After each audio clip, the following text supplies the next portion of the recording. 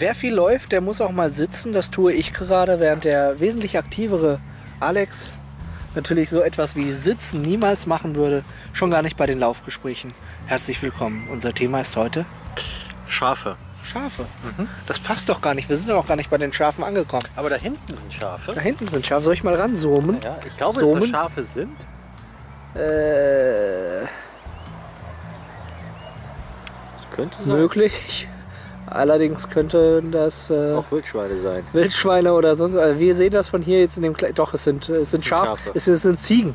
Ziegen. Ziegen. Ah. Herzlich willkommen beim Go Talk, hier eurem Social Media Talk Nummer 1. Ihr seid wieder live dabei, wenn wir eine Redaktionssitzung machen zu Themen, die euch garantiert nicht interessieren, aber über Twitter verbraucht werden, bis ihr kotzt. Goats sind äh, unser heutigen Thema. Äh, Echt, du willst über Ziegen reden? Ja, Ziegen. Ich kenne eigentlich nur eine doofe Ziege.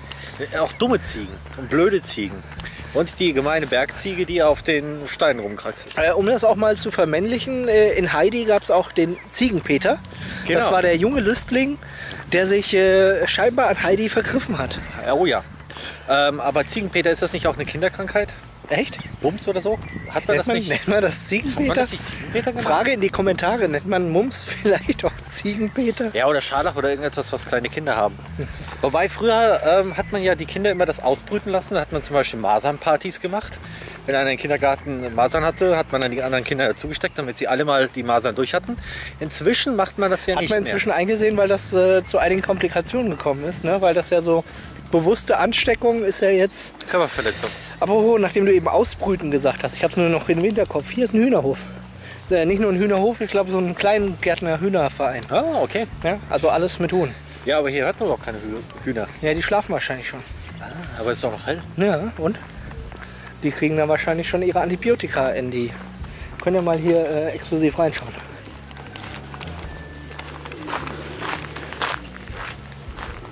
Naja, das sind, äh, glaube ich, äh, keine Hühner, das sind äh, eher Tauben.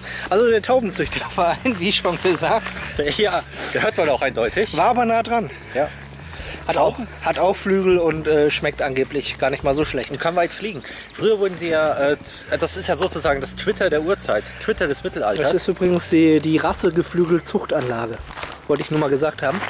Aus dem Jahr 1903. Mhm. Ja, äh, früher hat man ja äh, Tauben benutzt als Twitter-Ersatz. Da hat man kleine Botschaften irgendwie Mhm. Deswegen ran. auch zwitschern, Twitter, ja, ne? Genau, genau, ja, ja, Twitter, zwitschern.